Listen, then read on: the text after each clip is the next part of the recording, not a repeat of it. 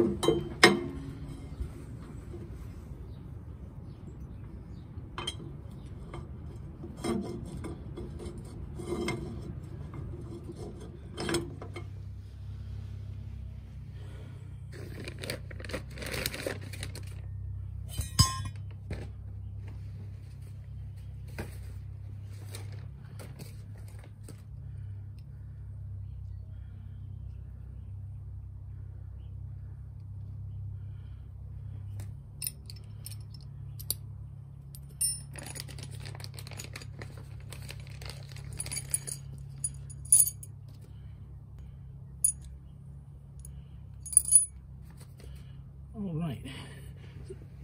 So we got our 9 16 wrenches.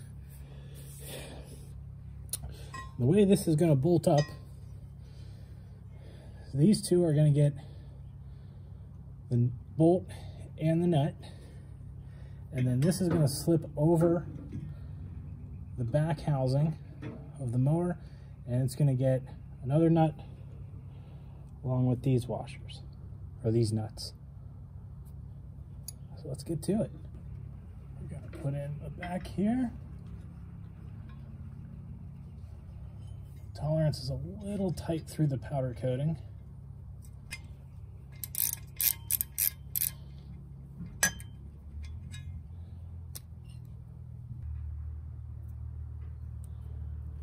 But it's better than it being sloppy.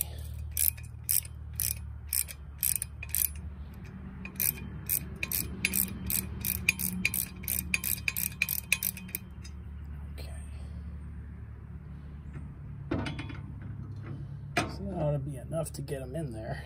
Yep. There we go.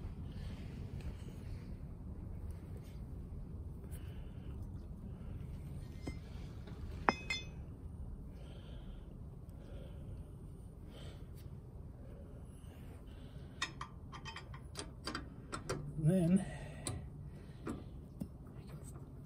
can fasten your bolt up through here.